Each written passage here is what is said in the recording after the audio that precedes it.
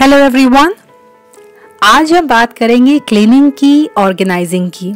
आप सोच रहे होंगे as a dietitian at you talk about diet food fitness ये ऑर्गेनाइजिंग कहाँ से आ गई?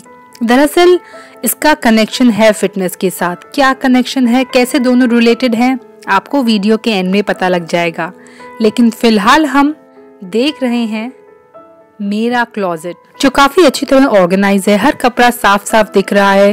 कोई भी कपड़ा ढूँढने में जरा सी भी एनर्जी जरा सा भी टाइम आपको वेस्ट नहीं करना पड़ेगा। और सबसे इम्पोर्टेंट चीज़ कि इस तरह ऑर्गेनाइज करने से मेरे पास काफ़ी खाली स्पेस भी बच गया है। दरअसल मैंने एक बुक पढ़ी थी the life changing magic of tidying up जिसके बारे में मैंने आपको बताया था। यह है जापानीज ऑर्गेनाइजिंग कंसल्टेंट कौन? मेरी कॉन्डो की बुक था मैंने आपसे पूछा था कि इसके बारे में आपको वीडियो चाहिए कि नहीं, और आपने कहा था हाँ आपको वीडियो चाहिए। दरअसल इस बुक में बहुत ही इंटरेस्टिंग एक बात लिखी हुई है शुरुआत में कि अगर आप अपने फैमिली मेंबर्स के साथ काफ़ी ज़्यादा आपका अनबन रहती है तो इसका रीजन आपका कमरा हो सकता है। अगर आप स्ट्रेस रहते हैं फ्रस्ट्रेटेड काफ़ी annoyed low on energy mood swings बहुत ज़्यादा होता है, आप बार बार चीज़ें भूल जाते हैं और हमेशा आपको लगता है कि आपके पास टाइम की कमी है। तो इसका एक बड़ा कारण आपका अनऑर्गेनाइज्ड कमरा हो सकता है। हो सकता है? शायद। एक्चुअली मैंने इस बुक की टेस्टमनी पढ़ी, यानी रिव्यूज़ पढ़े, और मैं शौक थी एक्चुअली वो रिव्यूज़ पढ़ के, और उन्होंने मुझे मोटिवेट किया ये बुक पढ़ने के लिए। काफ़ी लोगों ने शेयर किया था कि जो बुक में स्टेप्स लिखे हैं, उन्हें फॉलो करने से उन्हें काफ़ी एनर्जेटिक महसूस हुआ। वो अपनी दूसरी एक्टिविटीज़ के लिए काफ़ी ज़्यादा टाइम निकाल पाए। उन्हें बिज़नेस में गेन हुआ। फिटनेस की तरफ़ उनका ध्यान गया। रिलेशनशिप बेटर हुए। काफ़ी रिलैक्स और हैप्पी रहने लगे वो। और सबसे इम्पोर्टेंट चीज़, काफ़ी लोगों ने लिखा है कि वेट लॉस में हेल्प मिली। ये मैंने एक हफ़्ते पहले अपने अपने वार्ड्रोब का एक एक वीडियो बनाया था। आप देख सकते हैं कितना अनऑर्गेनाइज और अनटाइडी है। एक्चुअली सारे कपड़े जो हैं, वो बुरी तरह दबा दबा कर कबर्ड्स में भरे हुए हैं। और जब भी मुझे कबर्ड बंद करना होता तो बहुत मुश्किल से वो बंद होता था। कई बार तो कबर्ड खुलने के बाद वो ऊपर जो अपने बैग देखे थे, वो मेरे ऊपर गिर जाते थे। काफ़ी ज़्यादा अनटाइडी काफ़ी ज़्यादा अनऑर्गेनाइज जब भी कोई कपड़ा ढूँढने जाओ तो बहुत ज़्यादा टाइम वेस्ट होता था, बहुत ज़्यादा एनर्जी वेस्ट होती थी। ये मेरे शूज़ का कबर्ड है। और ऊपर उसमें मैंने सॉक्स रखी हुई है। और इस सॉक्स के कबोर्ड को भी बंद करने के लिए मुझे तीन या चार बार ट्राई करना पड़ता था। बुक में कुछ इंपॉर्टेंट बात शुरुआत में लिखी है जो आपको फॉलो करनी होंगी। एक ही बार टाइट करें और अच्छी तरह से टाइडी करें, यानी एक ही बार में सारे कपड़ों को ठीक करें। एक स्पेशल इवेंट समझें उसे। परफेक्शन के लिए एम करें। जब भी आप ये करना शुरुआत करेंगे, ध्यान रखें कि आप एक नई तरह से लाइफ की शुरुआत करने जा रहे हैं। इसमें जो मेथड्स हैं उससे अपने अकॉर्डिंगली चेंज ना करें। और सबसे इम्पोर्टेंट चीज़ पहले चीज़ों को डिस्कार्ड करें और फिर ऑर्गेनाइज करें। ये वीडियो मैंने लास्ट सैटरडे को शूट किया था। कुछ स्टेप्स फॉलो करने हैं जिसमें सबसे पहला स्टेप है कि अपने सारे कपड़ों को फ्लोर पर इकट्ठा कर लीजिए। यानी आपका पूरा जो वार्ड्रोब है उसे खाली करना है आपको और फ्लोर पर सारी चीज़ें एक पाइल में एक माउंटेन में माउंटेन बना देना है सारे कपड़ों का। मैं वही कर रही हूँ। और इतने ज़्यादा कपड़े थे कि मुझे समझ नहीं आ रहा था मैं कहाँ से शुरुआत करूँ। कभी मैं वहाँ से कपड़े निकाल रही थी कभी यहाँ से कभी हैंगर्स में से आ, निकाल रही थी। और नीचे मेरे पास फ्लोर पे स्पेस नहीं है इसीलिए मैंने पूरे कपड़ों को बेड पर इकट्ठा किया है एक साथ। और ये देखिए कुछ फोटोग्राफ्स मुझे मिली हैं जो मैं काफ़ी टाइम से ढूंढ रही थी। ये पूरा वार्ड्रोब मैंने अपना खाली कर लिया है।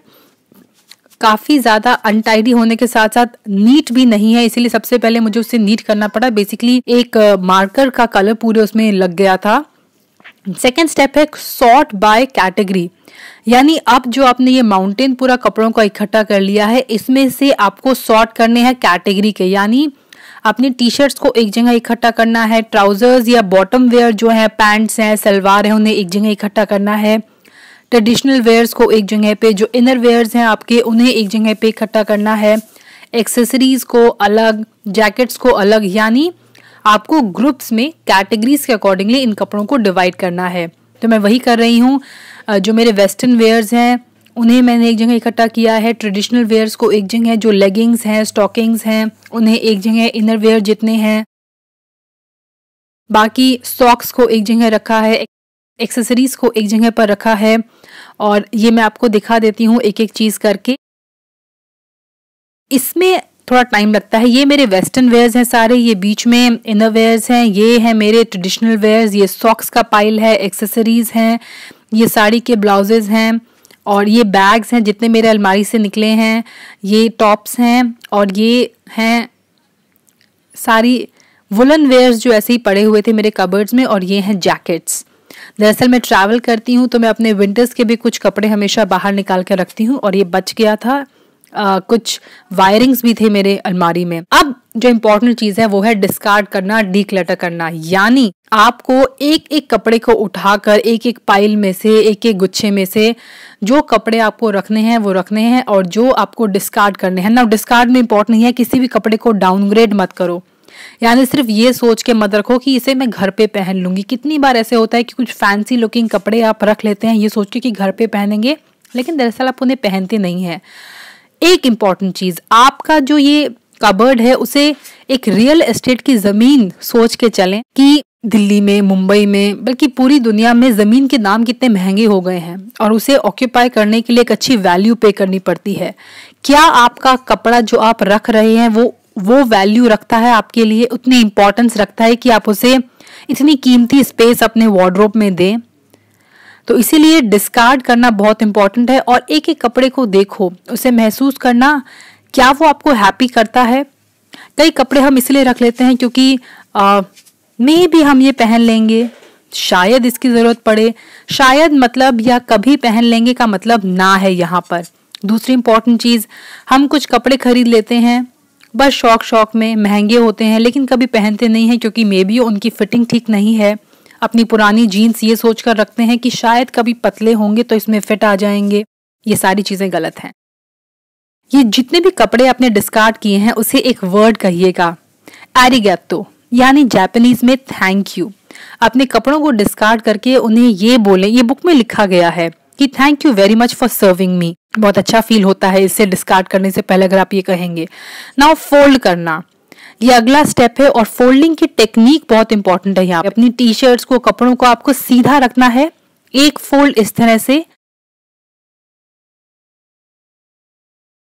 दूसरा फोल्ड हर स्टेप के बाद अपने हाथ से उन्हें फ्लैटन कीजिए। जापान में हाथ को थेरेपी को बहुत अच्छा मानते हैं और हर कपड़ा आपका जब फोल्ड करेंगे, इस तरह से अपने आप खड़ा होना चाहिए। एक यूट्यूब की टी शर्ट है, मैं दोबारा आपको दिखाती हूँ। एक फोल्ड स्लीव्स को फोल्ड दूसरा फोल्ड स्लीव्स को फोल्ड थोड़ा सा गैप आपको नीचे रखना है और फिर फोल्ड इस तरह से आपको अपने सारे कपड़े फोल्ड करने हैं। मैं एक एक करके आपको दिखाऊँगी और फोल्डिंग बहुत इंपॉर्टेंट है, तभी ये पूरी टेक्निक काम होगी। ये एक कैजुअल टॉप लिया है मैंने। इस तरह फोल्ड कीजिए। एक स्टेप दो स्टेप तीन, ये रोल और ये भी अपने आप खड़ा हो रहा है। जो भी आप फोल्ड करें, उसे फ्लैटन करके अच्छी तरह टाइट तरह से फोल्ड करें। और फोल्डिंग टेक्निक इसलिए इंपॉर्टेंट है क्योंकि मैरी कॉन्डो कहती हैं हैंगर्स में कपड़े नहीं टांगने चाहिए क्योंकि वो स्पेस भी बहुत घेरते हैं। यहाँ मैं एक शर्ट को भी इस तरह फोल्ड कर रही हूँ। एक्चुअली एक हफ़्ते में मैंने ये देखा है कि फोल्ड करने वाले कपड़े ज़्यादा अच्छे रहते हैं। ये एक सूट है ट्रेडिशनल सूट जो इंडिया में काफ़ी ज़्यादा पहना जाता है। एक और सूट सूट को भी इजीली आप इस मेथड से फोल्ड कर सकते हैं एंड सेम रिज़ल्ट आपको मिलेंगे सेम टेक्निक अगर कपड़ा पतला है और अपने आप नहीं खड़ा हो पा रहा, यानी आपको उसे ज़्यादा फोल्ड देने होंगे। ये एक ड्रेस है। वेस्टर्न ड्रेसेस को कैसे फोल्ड करना है? टेक्निक बिल्कुल सेम है। फोल्डिंग टेक्निक इसलिए इम्पोर्टेंट है क्योंकि अपने कपड़ों को आपको वर्टिकली नहीं, बल्कि हॉरिजॉन्टली लगाना है and they should be able to stand on their own अगर आपके पास इस तरह के ड्रॉज नहीं है जैसे मेरे पास है तो आप उन्हें बॉक्स के अंदर रख सकते हैं स्टोर करके एंड बॉक्स के अंदर कोई फैंसी बॉक्स नहीं होंगे तो भी चलेगा। आप नॉर्मल कार्टन जो होते हैं या शू बॉक्सेस को यूज़ कर सकते हैं अपने कपड़े रखने के लिए ताकि वो अच्छी तरह से ऑर्गेनाइज करें और बाद में उसे आप लेबल भी कर सकते हैं। फोल्ड करते टाइम सबसे ज़्यादा टाइम लगेगा। ये देखिए, एक टैंक टॉप्स हैं स्पेगडीज हों क्रॉप टॉप्स हों, वो भी इससे, इस मेथड से इजीली फोल्ड हो जाते हैं। सबसे ज़्यादा टाइम कंज्यूमिंग स्टेप है ये, लेकिन एक इंपॉर्टेंट स्टेप है। फोल्ड नहीं करेंगे तो जिस तरह से आप ऑर्गेनाइजिंग हम करना चाहते हैं, वैसे नहीं होगा। सबसे इंपॉर्टेंट चीज़ मैजिकल चीज़ जो मुझे इस मेथड की लगी वो यही थी the folding technique of Marie Kondo अगर आप यूट्यूब पे उन्हें सर्च करेंगे तो मेथड देखिएगा किस तरह से वो प्यार से कपड़ों को सहलाकर एक एक करके फोल्ड करती हैं which is very interesting I actually enjoyed the step और एक और मैं आपको एडवाइस देना चाहूँगी, जब भी आप ये पूरा पूरा मेथड करें या ये सारी चीज़ें प्रोसेस करें तो कोई अच्छा सा म्यूज़िक प्ले कर लीजिए, एक अच्छी प्लेलिस्ट चला के रखिए, बिल्कुल बोर नहीं होंगे एनर्जाइज फील करेंगे। और जैसे मैंने कहा, एक स्पेशल इवेंट की तरह इस दिन को ट्रीट करें, जिस दिन आप अपना वार्ड्रोब साफ़ करेंगे। डी क्लेटरिंग जो इससे पहले का स्टेप था, बहुत इंपॉर्टेंट है, बिल्कुल उसे मत भूलेगा क्योंकि वही आपके वार्ड्रोब को आपके लिए लवेबल बनाएगा। स्टॉकिंग सॉक सब कुछ फोल्ड कर ली है और अब अरेंजिंग की बारी है। अरेंज भी आपको कैटेगरी के हिसाब से करना है। ये सारे कपड़े मैंने यहाँ लाकर रख लिए हैं और कुछ कपड़े बेड पर भी रखे हुए हैं। मैं अपने सारे जो टॉप फेयर हैं, वो एक जगह रख रही हूँ। यानी टी शर्ट्स टॉप्स जो हैं, जो सूट्स हैं या जो ड्रेसेस हैं, उन्हें मैं एक तरफ़ रखूँगी और जितने भी बॉटम वेयर हैं, वो दूसरी तरफ़ रखूँगी। ये मैंने सारे टी शर्ट्स लगा ली हैं और अब यहाँ पर कुछ और टी शर्ट्स हैं मेरे पास, उन्हें लगाऊँगी। टॉप्स हैं कुछ मेरे पास। ये टॉप्स भी मैंने अरेंज कर लिए हैं और देखिए बिल्कुल गिर नहीं रहे हैं। अगर मैं रख भी रही हूँ तो वो easily they are standing on their own और यही आपको परफेक्शन चाहिए। यही आपको आइडिया लगाकर आपको फोल्ड करना है। ये सूट्स हैं, ये ड्रेसेस हैं और कुछ और ड्रेसेस हैं मेरे पास। मैक्सी ड्रेसेस लॉन्ग ड्रेसेस वो मैंने यहाँ पर रख ली हैं। अब अब ये टॉप्स ख़त्म हो गए। अब बारी आई बॉटम्स की। ये कुछ ट्राउज़र्स हैं पैंट्स हैं जीन्स हैं, ये घर पे पहनने वाले पजामाज हैं, ये टॉप्स हैं, कुछ क्रॉप टॉप हैं टैंक टॉप्स हैं, ये सारी चीज़ें और ये मेरे पास स्पेस बच गया था तो मैंने यहाँ पे कुछ दुपट्टे और अनस्टिच सूट रख लिए हैं और एक दो कपड़े जो मुझे लगा हैंग करने के थे, वो मैंने हैंग कर दिए हैं। ये एक्सेसरीज है, मैंने इन्हें भी डीक्लटर किया, इन्हें भी ऑर्गेनाइज किया। हालाँकि अगर मैं ये पूरा प्रोसेस आपको दिखाती तो बहुत लंबा वीडियो हो जाता। Maybe I shoot another video कि कैसे एक्सेसरीज को शूज़ को बैग्स को ऑर्गेनाइज करना चाहिए। लेकिन फ़िलहाल आज का जो हमारा एम है, वो सिर्फ़ क्लोथ्स तक मैंने रखा है। जो वीडियो है, वो लिमिटेड है सिर्फ़ क्लोथ्स तक। तो मूव करते हैं दोबारा क्लोथ्स की तरफ़। और आगे मैं आपको कुछ और चीज़ें बताती हूँ। एक बार जब आपने पूरे क्लोथ्स ऑर्गेनाइज कर लिए हैं तो ए, हर एक कपड़े को स्पेशल ट्रीटमेंट देनी होगी आपको विद रिस्पेक्ट एंड लव जब भी आप उनको निकालें तो ऑब्वियसली आपको निकालने में बहुत आसानी होगी उन्हें वापस रखें तो उसी तरह फोल्ड करके रखना है। और अगर आपने एक बार पूरा अपना क्लोजेट अगर ऑर्गेनाइज कर लिया है ये मेरे कुछ इनरवेयर्स हैं जिन्हें मैंने बॉक्स में ऊपर रखा हुआ है। हैंगर्स की बात करें तो हमेशा जो लंबे कपड़े हैं वो आपको एक तरफ़ से शुरुआत करनी है और छोटे कपड़े एक तरफ़। ये मेरे पास स्पेस बच गया था तो मैंने अपने बेबी के कपड़ों को ऊपर रख दिया है। मेरे पास काफ़ी एम्पल स्पेस बच गया था। चार Uh, या ऑलमोस्ट पाँच मैंने बैग डिस्कार्ड किए थे। सेकंड मैंने दोबारा से एक बार अपने कपड़ों को देखा और मुझे कुछ और कपड़े मिले थे। तो चार या पाँच बैग कपड़े मैंने निकाले हैं और ये बहुत इंपॉर्टेंट है। ये आप देख सकते हैं फाइनल जब सब कुछ ऑर्गेनाइज हो रहा है, कुछ इस तरह का नज़र आ रहा है, मेरा जो पूरा वार्ड्रोप था, हर कपड़ा झाँक रहा है, एक तरह से आपको आवाज़ लगा रहा है कि I am here I am here I think you looking for me office जा रहे हैं आप। एक हफ़्ता मैंने ये ट्राई किया और फिर उसके बाद मैंने देखा, मैं डेली 15 से 20 मिनट सेव कर रही हूँ इन अ वेज ढूँढने में टाइम नहीं लग रहा, मुझे पता है मेरे कपड़े कहाँ रखे हैं टॉप है बॉटम है और बहुत पीसफुल होती रहती है। मॉर्निंग में जो स्ट्रेस होता है वो इतना लो हो गया है इसे ऑर्गेनाइज करने के बाद। And yes those 15 minutes I am spending on fitness मैंने एक और रूटीन स्टार्ट किया है। आ, मैं अच्छी तरह खाना प्रिपेयर कर पाती हूँ। मॉर्निंग में एक एक मिनट इंपॉर्टेंट होता है। बच्चों को आप तैयार कर रहे हैं। आप खुद ऑफ़िस के लिए रेडी हो रहे हैं या नॉर्मली मॉर्निंग में अगर आपको इस तरह का वार्ड्रोब मिलेगा it is very destressing काफ़ी रिलैक्सिंग होगा।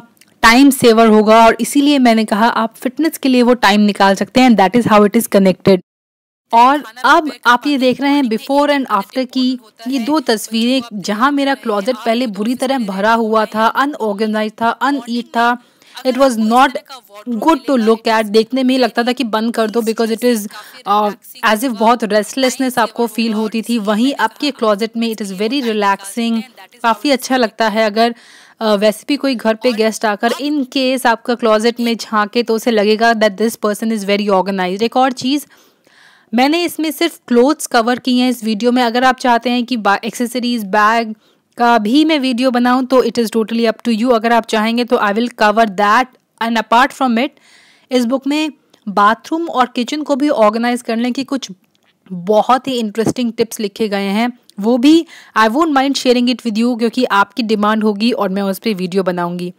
So if you are new to my channel don't forget to subscribe और सब्सक्राइब करने के साथ ही बेल आइकॉन को प्रेस करना ना भूलें ताकि जब भी हम कोई नया वीडियो डालें, आपके पास उसकी अपडेट्स जो हैं वो पहुँच जाए। साथ ही आप हमें फॉलो कर सकते हैं हमारे इंस्टाग्राम पर, हमारे ट्विटर पर। आज के लिए इतना ही। Stay organised stay fit stay healthy bye and I see you soon